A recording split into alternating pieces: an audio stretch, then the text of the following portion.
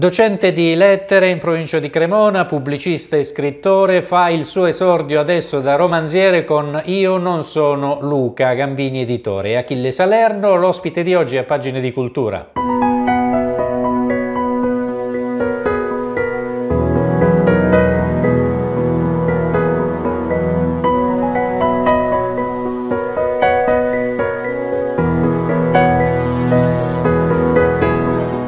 Un adolescente dalla storia difficile, un docente che riesce ad aprire un varco in quel guscio impenetrabile. Da dove nasce l'ispirazione di Io non sono Luca? Principalmente dal mestiere di docente perché mi ha dato l'opportunità di conoscere dal vivo determinate vicende che non sono comunque inserite propriamente nella storia, la storia diciamo che è più che altro inventata, però alcuni elementi mi hanno spinto a poter comunque costruire questa vicenda e a poterla comunque poi ampliare cercando anche di metterci dentro un qualcosa che è sicuramente ancora attuale, abbastanza attuale. Luca è anche un ragazzo strappato dal suo sud. È un ragazzo che viene strappato dal sud, da, precisamente dalla Calabria, a sfuggire da quelle che sono le dinamiche purtroppo criminali legate comunque all'andrangheta per poter comunque arrivare verso il nord Italia, lontano proprio chilometri e chilometri e cercare di eh, costruire una nuova vita, ma non sarà facile perché estirpare eh, da un momento all'altro una persona dalla propria terra eh, con sicuramente anche una mentalità propriamente comunque legata, comunque anche molto molto eh, affine a quello che è il suo mondo, poi sicuramente non sarà certamente facile. Ecco qui entra in gioco un docente paziente che eh, ritrovandosi in una situazione molto molto scottante dovrà eh, cercare prima anche un po' di risolvere la questione, non facile perché ci sono sempre di mezzo le burocrazie, ma poi tra l'altro si intenerisce dietro la storia, eh, anche se comunque c'è di fronte un ragazzo molto duro, molto molto reattivo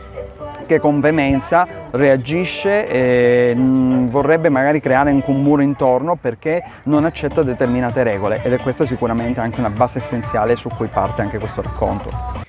E chi deve ringraziare Achille Salerno per questo traguardo raggiunto?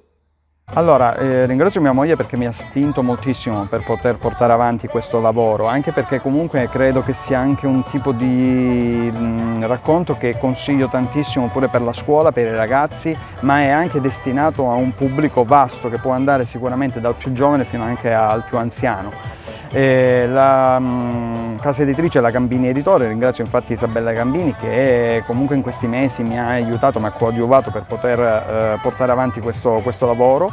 e moltissimi altri colleghi, ma devo davvero, davvero ringraziare anche eh, i miei alunni, devo ringraziare anche comunque anche loro, gli studenti, perché giorno dopo giorno mi danno l'input, mi danno comunque l'opportunità, con alti e bassi lo, lo sappiamo tantissimo, eh, nel cercare comunque di trarre determinati spunti, perché anche attraverso loro si può arrivare sicuramente a poter concepire delle storie, perché anche da loro si può partire per poter comunque realizzare un racconto e capire quello che è la dinamica giovanile giovanile che certe volte comunque si interseca anche con contesti che, come dicevo prima, sono abbastanza scottanti.